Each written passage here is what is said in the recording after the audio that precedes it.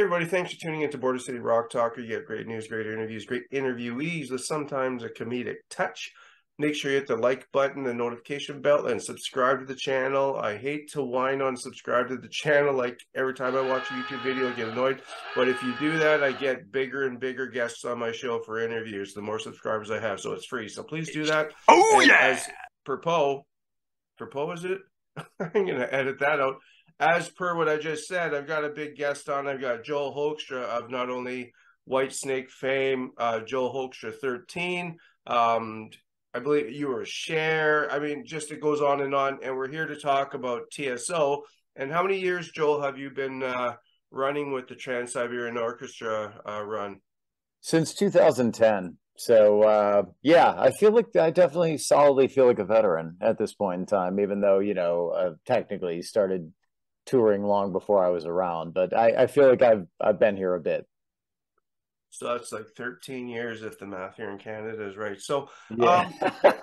the Canadian math system, yes, yes, slightly different than the U.S. Yes. Yeah, well, we're, we count rocks, but um, so with the 13 years you've been doing the run, um, every year does um, I, we know Paul O'Neill was the uh, mastermind behind this, but every year is there something new that's added, or is it kind of um, one of those cookie cutter products where we don't want to change up anything, we want to keep it the same because it's you know it brings in people um, you know, 40,000 arenas, seat arenas twice a day. Um, explain how it goes every year. Is there any surprises? Um, well, I, on the front, those that haven't seen Trans Siberian before, the front half is always a story or a rock opera, if you will, and that's um, those stories are either derived from the three Christmas albums, the trilogy, or in this case, um, a PBS special that was um, called "The Ghosts of Christmas Eve," and that's um, essentially like a greatest hits or a best of. So those that haven't seen Trans Siberian before, it's a good year to come check us out because you get to hear the music that put us on the map and made us who we are today, so to speak. So um yeah that's the this particular story is probably the lightest in terms of um content it tends to be very fan friendly and the second half of the show tends to focus more on the magnitude of the production itself um just kind of like you know those that haven't seen tso it's a visual spectacle. I mean we have a video screen the width of the arena. Um you know it's snowing indoors. There are hydraulic lifts that the performers are out over the audience on running through the audience playing. Um you know we got pyro like crazy a pink floyd laser light show. I mean it's it's incredible to look at. So because of that you know all that various content we're talking about and this music that's kind of a, a mix of the theatrical side telling the story on the front end and and obviously kind of you know just your um hard rock or metal kind of like you know easter egged in a weird way for people right? Like um because they're drawn in by the story and the production um, and obviously classical music. So it's it's a hybrid of a lot of elements. It's a, a very very unique show and difficult to describe um, but you you kind of get something for all ages. And it's something that paul o'neill's vision was to make this affordable um, despite the fact that we're one of the top billboard and Pollstar tours every year. Um, to to be like a family event like something that and, and we do see it and it's crazy dude. Like i mean you can look out there and see like families three generations deep the grandparents and the parents and the kids and everybody actually looks happy to be there. It's the, like the weirdest thing in the world. I mean like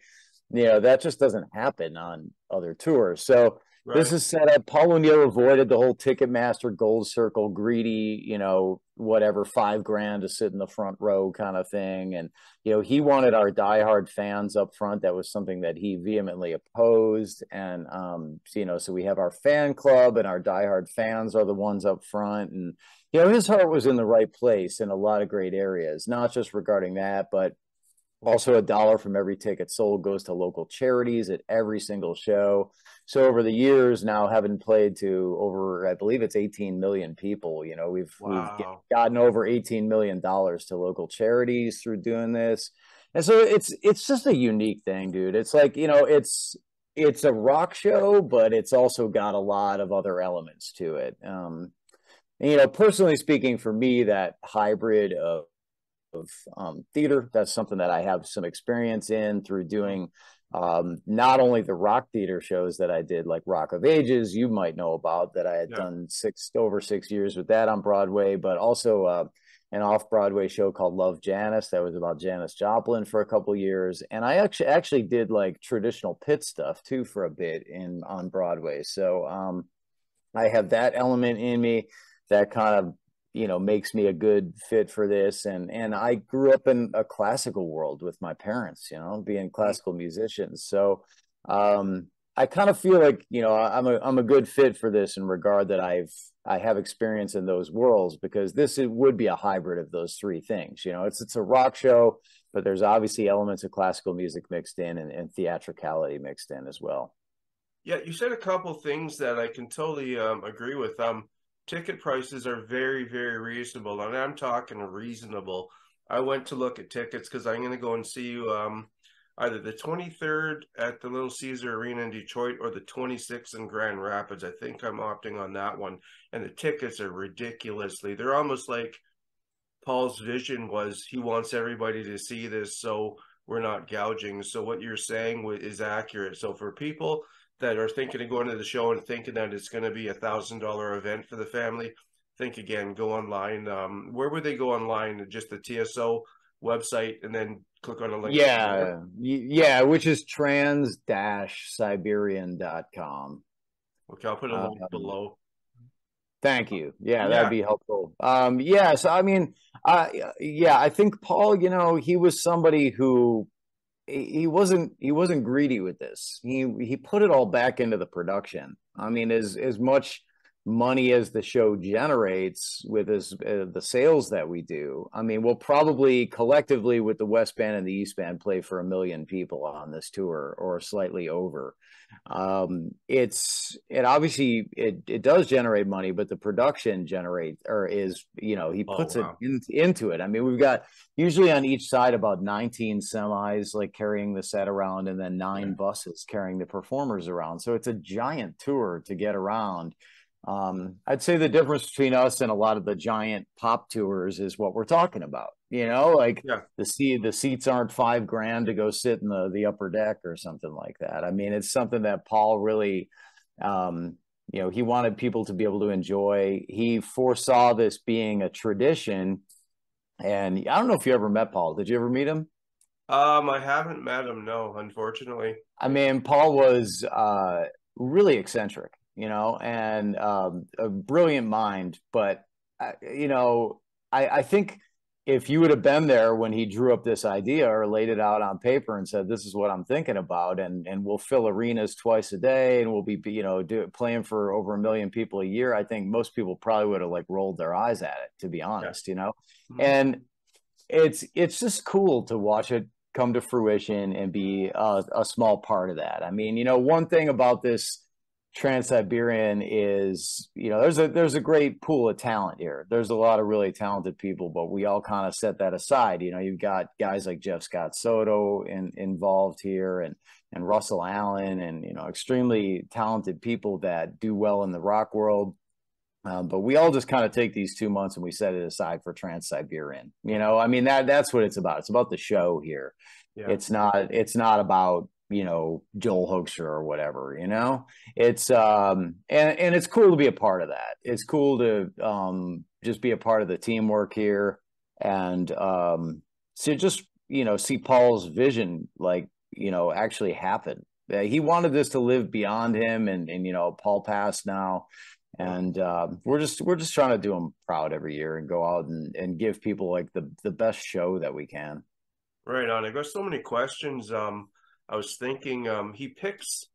Well, um, I don't know who's who's doing the um, the interviews these days for getting new cast members, but I'm sure that when he was doing it, just from his personality, he would look for a great musician or or you know somebody in that or you know a technician, but that's humble. And if you live in Quebec, it's called humble. so, ah, okay. Um, I think that I think is it fair to say that the all the people that you work with that you could characterize them as as humble people? I mean, I think I think you have to have that element of selflessness um, in in this particular gig, mm-hmm. um, and you know that's that's been good for me, and I really have never had an issue with that. I, I'm not traditionally like a quote unquote boss in any of my bands, you know. I mean, outside of Joel Hoekstra's 13, which has essentially just been recording, we did one gig, but um, you know, I'm I'm used to following orders. I'm cool with it, man. You know, and and this is you combine that with the workload on this, the eight shows a week that we do do on each side while we're out. So 16 shows a week are happening.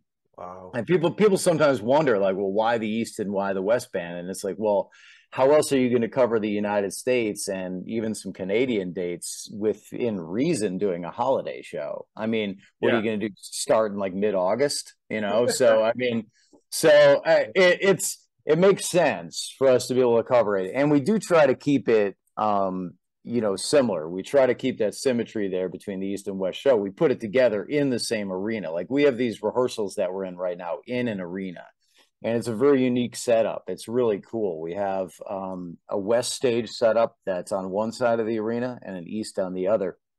And uh, kind of funny arena. It, it's kind of funny because sometimes when we're we're playing on the east stage they'll run the production elements on the west stage and so we're like looking at what's behind us like across the arena it's a pretty neat experience man wow uh, so it's cool you know the, our music directors do a great job al pitrelli uh, md's the west coast band and he's you know a guitarist who's worked with everybody you know mm-hmm. great amazing musician who's covered you know he's been in anywhere from Megadeth to Michael Bolton. You know what I mean? Like he's been like he's a really great player, and so I work with him on the guitar parts. We definitely make sure we're on the same page, and um, you know, within reason. Obviously, everybody plays slightly different than one another. I have you know trouble playing some of the stuff that Al plays, and you know, but uh, you know, I say, hey, well, this this would fit more with like what I'll sound good doing. Is, is this cool with you? And um, you know, so it, we we work we definitely work together to try and make it so it's not like you're seeing two different shows, if that makes sense. We we want to have like yeah, like the the respect to the show that if somebody's seeing it out west, they're seeing something similar to what they'd see out east. Right. Um, another thing that came to mind when you're talking about the first part was the story basically, and then the second part is kind of the the visual phenomena, and you're talking about um, um, playing guitar um, on a high rise over the fans. It's snowing in the arena. And when you're saying snowing in the arena, it kind of made me think of the Rocky Horror Picture Show when I heard. I never, no, I did see it once in Toronto. They played it every day for years. And you'd go in, and apparently the thing was you bring a paper bag, you bring a squirt gun, and all those things. So when there's scenes of rain, you squirt up, and then it hits the paper bag. Yeah, yeah, I mean, uh, and, and, I guess to answer your question earlier, when you asked about um, whether or not it's a cookie cutter thing, like if it's the same thing every year. So the story changes um, depending on the year on the front end. Um, I'd say that the goal is usually to. Uh, so there's an element of tradition with this, right? Like mm-hmm. you want people to feel like this is their Christmas tradition. So you don't want to come back and hit them with something completely different, yet you don't want to give them the same show. Right, um, so because you don't want people to feel like you know it's Groundhog Day with Bill Murray either, right? So, yeah. um, I mean, we try to give them a show that evolves and is slightly different, um, but also not change the level of familiarity to the point where it doesn't feel like a tradition. And yeah. that it really is for so many people. I mean, we have an, it's an incredible fan base, dude. That's like I, oh, yeah. I've I, have i have called us the Grateful Dead of Christmas. You know, we've got like just people that come every year and even go city to city to watch the show. You'll see people at various shows and traditionally up until um, COVID hit, you know, we had the signing lines after every evening show. So we met our fan base, you know, and became friends with them. And so it, it's unique in that regard. Like it's this huge tour, but we also feel very grassroots because it's like, oh, hey, you know, we're on a first name basis with a lot of the the, the diehard fans, mm-hmm. and you you know them, and um, it's it's just a really unique setup that I can't, I can't really compare it to anything, you know, like um, eh, there's something cool about you're on this incredible stage with all the lasers and the pyro and all this stuff, and yet we're allowed to like step down into the audience on certain songs and go play to a kid, like a little kid, like sitting wow. there. Which number one, you don't see at a normal rock show.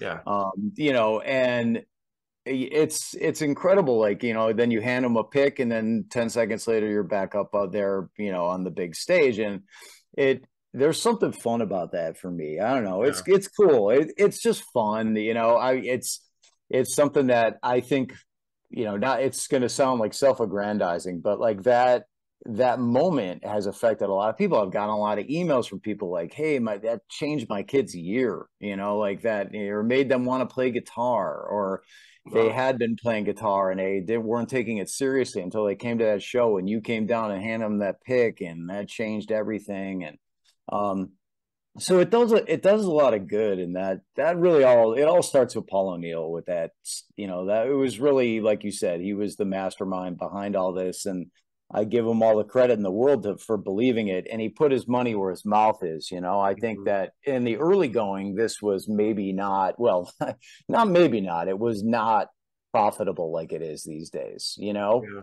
Yeah. And I think I think Paul believed in it and had a vision. It's kind of it's kind of old school. It's kind of like when labels would get behind a band, and even if a band you know had their first couple records didn't quite do it, if they believed in a band, they stuck with them until you know all of a sudden, boom, they have this huge career that lasts a lifetime. And so, um, you know, Paul was very much like that with this. He he believed in it a lot, and he believed in us a lot too. You know, um, I sound corny, but you know, Paul was like always the biggest proponent of all of us. I mean, he was like he championed all of us, and would always you know, say every time he'd see you, he'd tell you all your good qualities, and it it it, it kind of made you feel like, well, I can't, I can't let this guy down, you know, like he he that, was, that was his hook.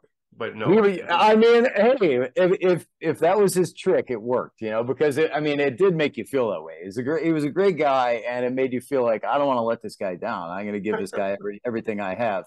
You know, the the the workload thing that you know the eight shows a week and um, it's not for the faint of heart. Like you have to actually enjoy working and you have to enjoy like doing what you do because it's when you're doing two shows that are just a little like over two hours let's say they're like about two hours and 10 minutes two hours 15 minutes something like that. By the time you've sound checked played a show that was high pressure get done take a short break play another show and then we used to have the signing lines afterwards, and you're getting on the bus at midnight, and you're like, man, we got into the arena today at like, you know, 11 a.m. When you do that Friday, Saturday, Sunday in a row, and it's three different cities, it's it's inc- it's incredibly challenging compared to like a standard rock tour, you know.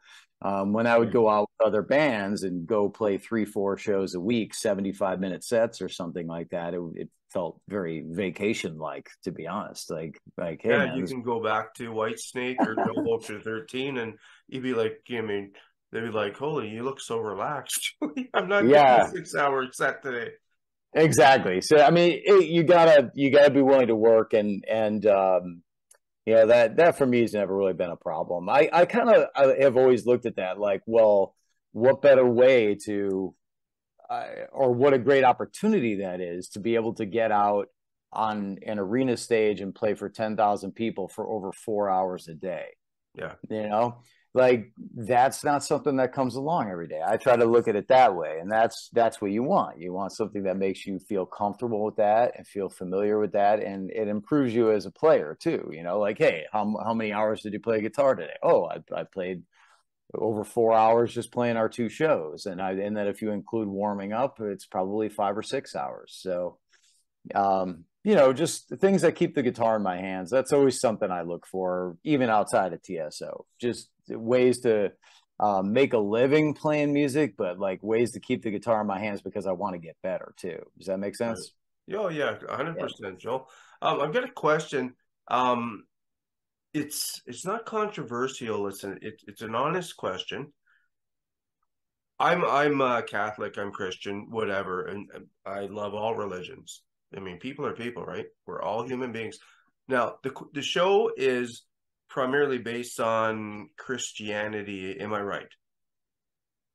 No, I'd say okay, it's okay, actually, okay. it's it's it's more. I mean, there are there's there's quotes of a lot of very famous Chris, uh, Christmas carols. Oh, okay. Um, um, so, but I would say it's more based on the story, and um, so I think everybody's welcome. You know, that's, that's uh, I, I mean. I, I, th- I, th- everybody's welcome. I mean, in fact, the name itself, which is of course much maligned these days, with the, the phrase "trans" meaning more, carrying oh, heavier, never thought heavier, heavier weight, heavier weight than it used to. Paul's vision really was um, naming this band after the Trans Siberian Railway because it right. brought the most cultures together. It brought yeah. it was something that brought people together. Mm-hmm. And that was really his vision with this. So I, I, I wouldn't say that it's necessarily like a you know um, a Christian show per se. I'd say it's something that um, you, you obviously you're going to hear carols like quoted and and and such in the shows that mm-hmm. are probably derived from that culture, but um, in general, man, it's just about bringing people together. Yeah, yeah. I wasn't trying to get controversial. I was just kind of morphing it into my um, question of um, do you see a lot of different um, cultures coming in and enjoying the show, um, whether they're this religion or that religion? Because, like I said, we're all human beings, and if they have a show like that, um, the Trans Siberian Orchestra, and it's been talked about so much, and it was say Muslim or um, Orthodox Jewish, I would go to see the show from the reviews. I mean, I would put you know religion aside just for the production and the and the, the love aspect coming out of the the entertaining and and that sort of thing do you see um, a lot of different cultures coming in or is it something you don't notice or you know? um yeah I, would say that yeah there there's a lot of uh, this show appeals to the widest range of people that i've Super. ever witnessed you know i mean that being said, you know, I'm usually part of like an 80s rock band. So like that's a very specific um draw. It's usually like people in my age bracket that grew up with the music. So you're like you're 39, you know. right? I saw on Facebook. 39, I wish, dude. But um I mean, I'll take it. Sure, let's say it. Let's spread that rumor. Okay. Um yeah, that sounds good to me, but yeah, I wish, dude. Um uh, but yeah, I, I mean, I, I do. I, th- I think the show brings people together. There's really um, the, the, the the most cliche. I ha- I say it in interviews, and it's like it sounds beyond cliche, but like there's something in this show for everyone.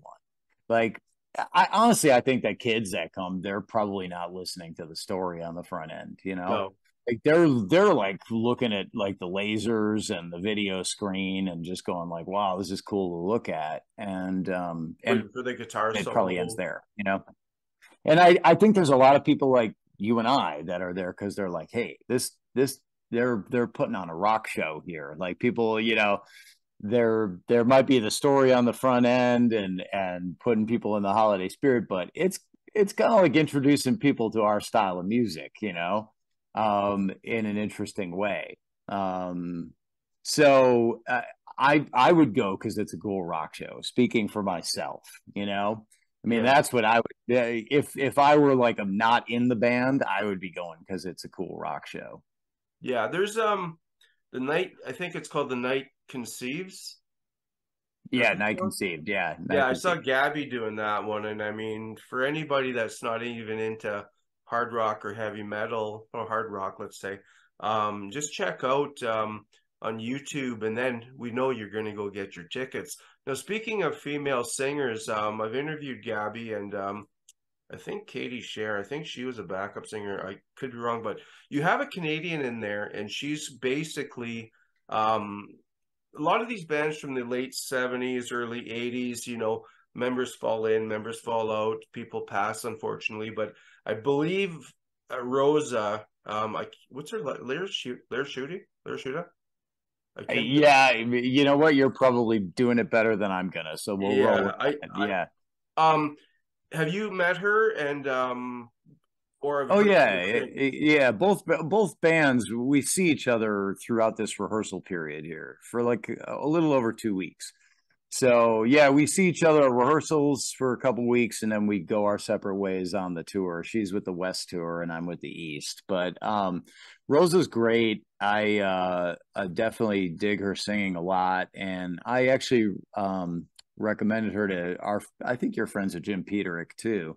Yeah. Um, or I've interviewed Jim. Jim was making a Women Who Rock album for Frontiers and and um, I recommended a few people to him and Rosa was one of them for him to look into and I and he used her on that one of the tracks I believe on that record. So um, yeah, she's she's great, man. You know, she's really cool and uh, sings her ass off. Well, I mean, if you've seen any of the stuff she's done with the Headpins, holy jeez. Um, I love Darby Mills, the original singer, but I mean, Rosa's got her own style and her own voice, but I mean, identically, I can't even tell the difference. She sings so great. But um, so everybody, if you're in the West Coast, uh, make sure you check out the show, especially if you're an expat, you're living in the States from Canada. Now, let's talk about, oh, one more thing with the TSO, uh, Joel. Um, has TSO thought about bringing their show in any form to maybe England well, it's a North they, American production. They've done they've done uh, some European stuff. Oh. Um, you know, the, the the thing with Trans Siberian is um, it's essentially like derived from the band Savatage. Like that's the core of the band. Mm-hmm. Um, and then as it found success, when the dates needed to cover the entire US around the holiday period, they kind of took Savatage and split it down the middle and said, okay, you guys go this way, you guys go this way. And then we fill out the band with guys like me, you know, who just come in and like, hey, this guy, you know, plays with rock bands and be a good fit for what we're doing here.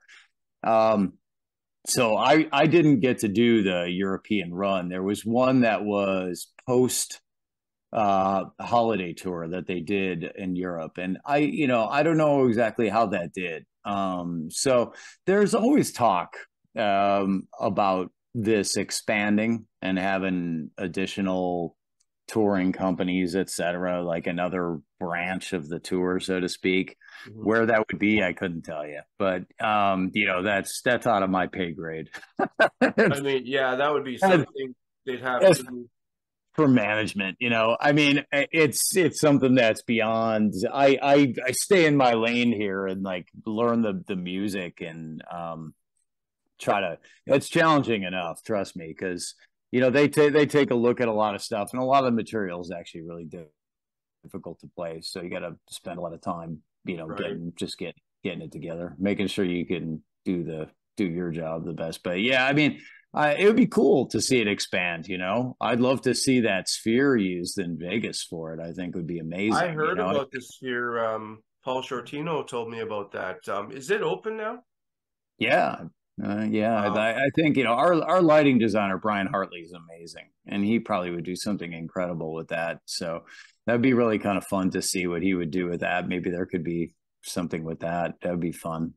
So if the, uh, viewers, if viewers aren't aware, basically the sphere, from what I understand, Joel, correct me if I'm wrong, if you're flying into Vegas, sort of thing, um, and it's at night, let's say they're having a basketball game, I guess the outside of the sphere is going to be um, pixelated to show a basketball game. Is that something like that? And if it's a different event, that's the sort of thing. If you're if you're flying over, it'll be pixelated to be a concert, rock concert, something like that.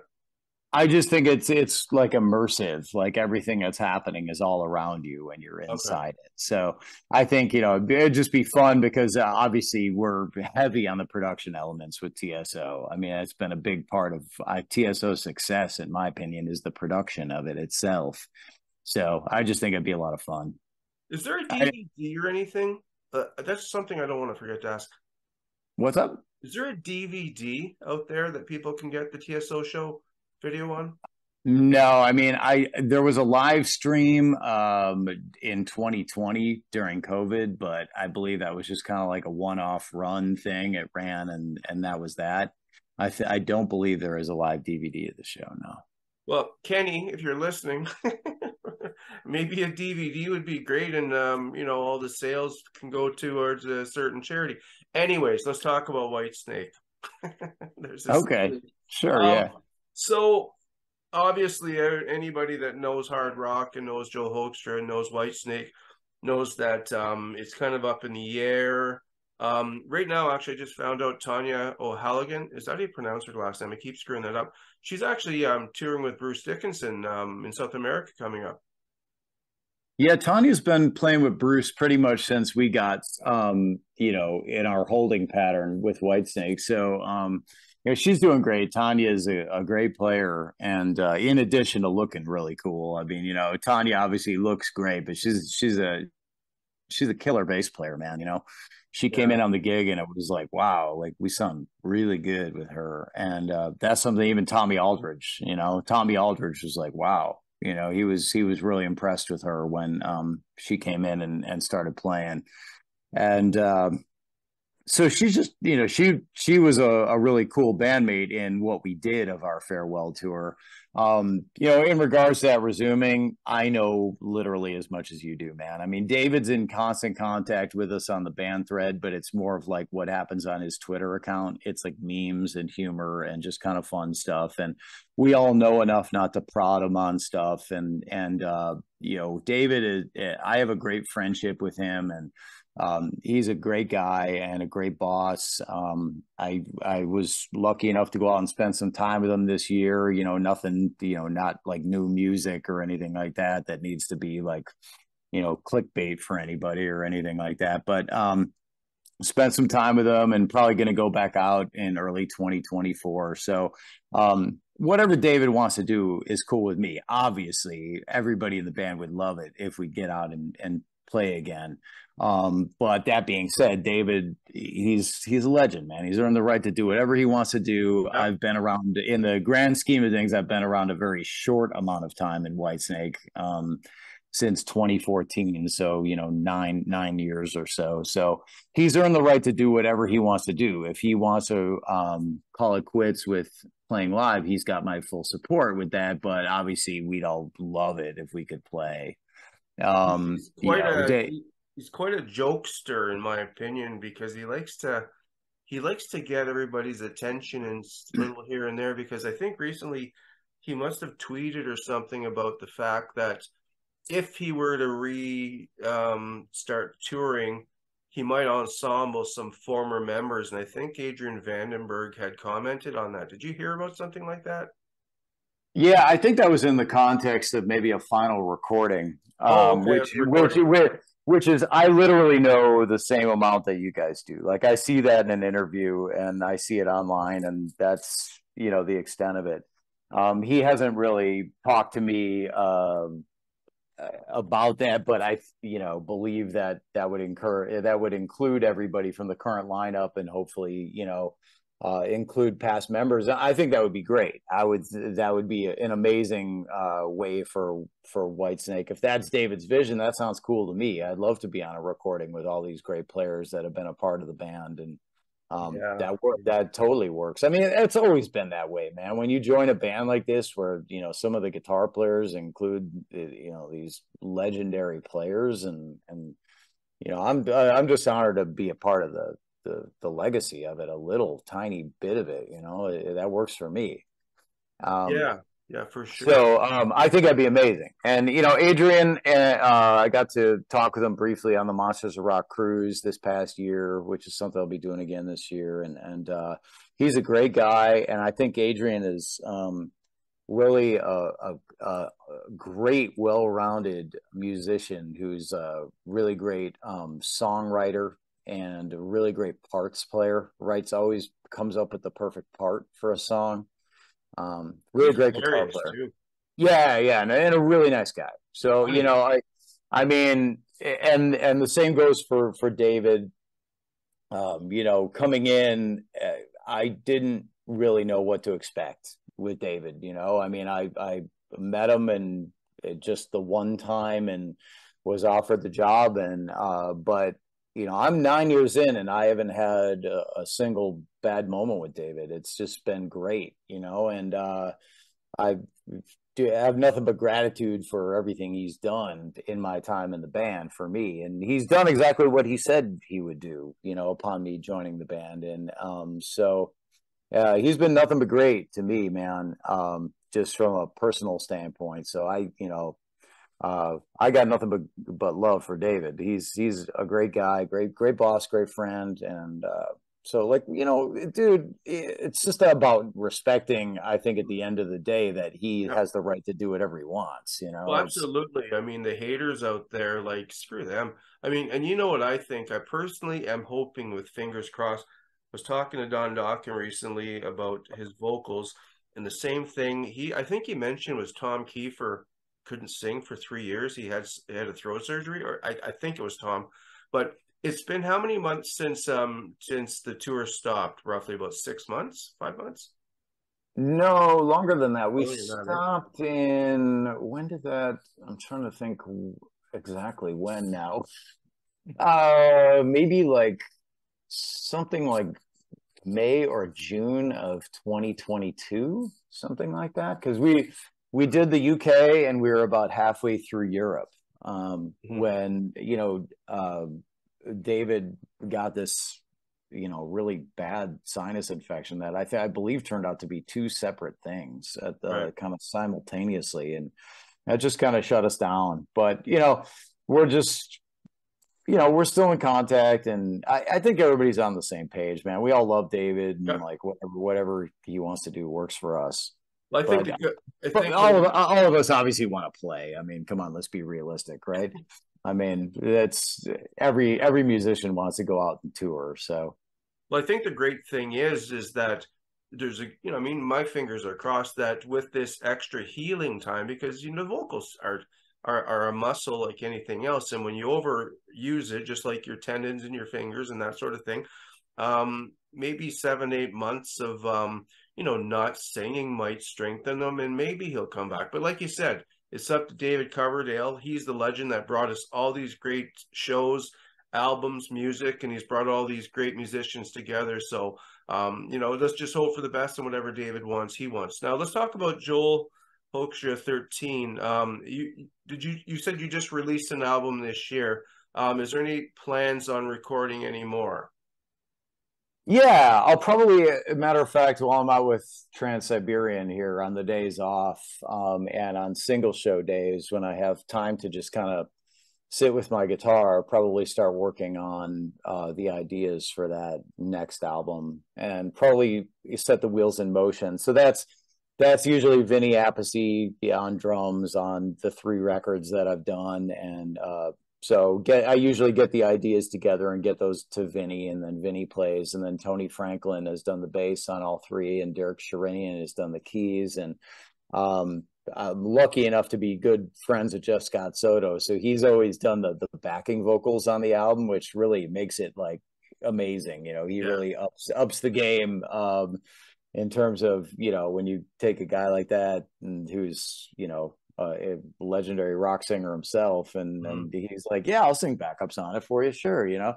Um, so la- the, this latest record had this, uh, you know, kind of Indian uh, f- phenomenon, like uh, Girish Pradhan. He's a, a, young phenom, like up and coming, sang lead on it, and he, he sounds amazing. And so I'll probably work with Girish again, um, schedule permitting for him, and um, but yeah, that that's like my opportunity. Those records to uh, be the guy who writes the the lyrics and the vocal melodies and gets to kind of have the final say so in what the mix sounds like and what the artwork looks like, etc. And just kind of, I guess, you know, to summarize, be the boss for a minute. You know, like just have an opportunity where it's um, my baby.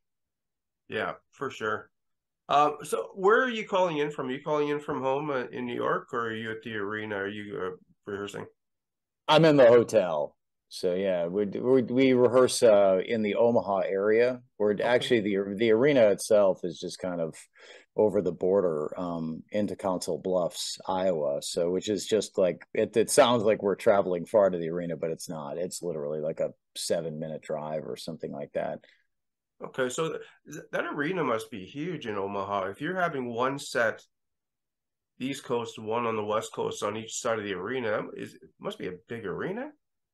It's a standard size arena, but it just you know, I just a unique setup. It's cool. I I sometimes wonder. I'm like, well, where else would I see this? You know, like where you see two full setups in one arena, kind of facing each other. So, um, it's uh, it's definitely interesting. And we we each, you know, the the West band will come out and watch us on the main stage from time to time and hear what we're doing. And there's usually a night before we leave here for the tour where we come watch the West band and what they're doing and um, I always try and make that, like I said, you know, part of my job here is to make sure that things are symmetrical and, um, you know, they're not doing anything drastically different than us. Yeah, you're kind of like, uh, you, well, you're a veteran in the band now, so.